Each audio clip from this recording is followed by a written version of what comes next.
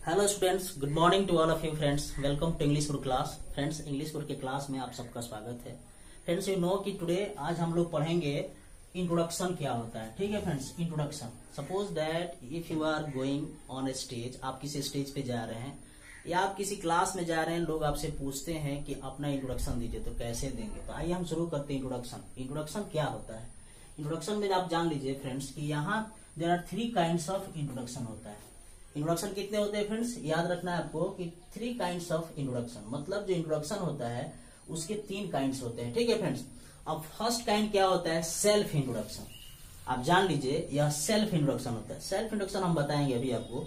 दूसरा आपका होता है फ्रेंड्स फैमिली इंट्रोडक्शन क्या होता है? फैमिली इंट्रोडक्शन ठीक है ना? एंड थर्ड एंड लास्ट होता है फ्रेंड्स ऑफिशियल इंट्रोडक्शन ठीक है ना फ्रेंड्स अब अगर आप हमसे पूछेंगे कि सेल्फ इंट्रोडक्शन क्या होता है and how I introduce myself मैं अपना इंट्रोड्यूस कैसे करूँगा, ठीक है ना? तो देखिए यहाँ मैं उसका फॉर्मेट लिखा। क्योंकि बहुत बार लोग मिस्टेक करते हैं, अपना सेल्फ इंट्रोडक्शन देते समय। चाहे कई बार लोग आपसे पूछते हैं कि इंट्रोडक्शन बताइए तो उसको अपना नाम बताते हैं, अपनी फैमिली के बारे में बताते हैं, पापा, मम्मी, भाई, बहन, सबका नाम बताते हैं। ये सब गलत बात है, ठीक है ना? इंट्रोडक्शन में आप कहीं भी जाएँगे, सबसे पहले जब तक लोग आपसे फैमिली के बारे में पूछे नहीं, तब तक आप अपना सिर्फ़ सेल्फ ही बताएँगे इंट्रोडक्शन ठीक है? अब देखिए यहाँ मैं फॉर्मेट लिखा हूँ। जिन लोगों को अगर इस फॉर्मेट को मतलब जिन लोगों को अगर फॉर्मेट के बारे में पता नहीं है तो आपका इंट्रोडक्शन गलत हो जाएगा, याद रखना है। फॉर्मेट में क्या बताया गया है कि सबसे पहले अपने सेल्फ इंट्रोडक्शन में सबसे पहले अपना नाम बताना होता है। मतलब आप जो नाम है है ना? मान लीजिए आपका कोई भी नाम है, संजय है, धनंजय है, कोई भी नाम है अब देखिए यहाँ लिखा है फ्रॉम वेयर आर यू मतलब आप कहाँ से हैं? ठीक है ना? जहाँ से आपका घर है, जिस, जहाँ से आप बिलोंग करते हैं, वहाँ आपको लिखना है।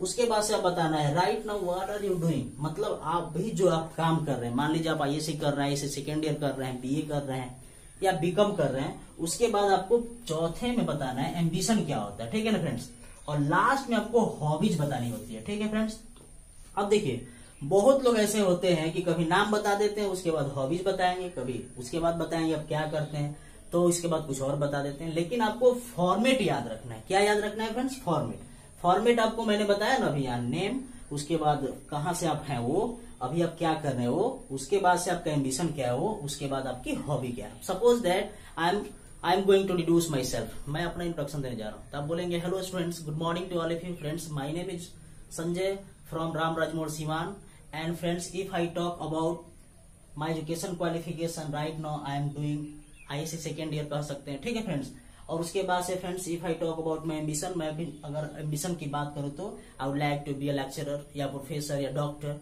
या I would like to join Indian army आप इंडियन आर्मी को ज्वाइन करना चाहते हैं या बैंक पीओ बनना चाहते हैं तो आप एम्बिशन बताइए friends and my hobbies are playing chess cricket watching television etcetera etcetera बोलेंगे. क्या बोलेंगे फ्रेंड्स एक्सेट्रा ठीक है ना? ईटीसी को आप जो है, ये शॉर्ट फॉर्म है. उसका फुल फॉर्म होता है एक्सेट्रा मतलब मैं इसके अलावा एक्सेट्रा और कुछ करता हूँ. ठीक है फ्रेंड्स लास्ट में आपको क्या बोलना है, ये ध्यान देना है। बहुत बार ऐसे गलत लोग करते हैं, बहुत ऐसे स्टूडेंट्स हैं जो गलत करते हैं। क्या? वो बोलते हैं this is my short introduction लेकिन ऐसा होता नहीं है। शॉर्ट इंट्रोडक्शन नहीं होता है। क्या होता है?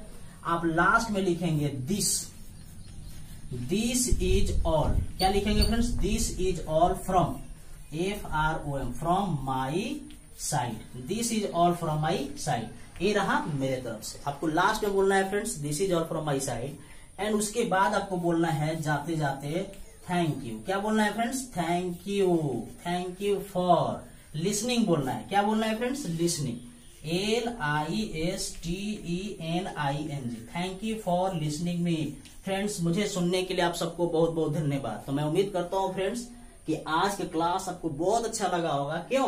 क्योंकि मैंने आज की क्लास में आपको बताया है सेल्फ इंट्रोडक्शन कैसे देते हैं. ठीक है? आगे क्लास में हम लोग सीखेंगे। फैमिली इंट्रोडक्शन कैसे देते हैं? और लास्ट में मैं आपको बताऊँगा ऑफिशियल इंट्रोडक्शन क्या होता है। ठीक है फ्रेंड्स? तो मैं उम्मीद करता हूँ कि आज की क्लास आपको बहुत अच्छा लगा होगा। तब तक के लिए मुझे दीजिए इजाज़त। Thank you for watching this class most welcome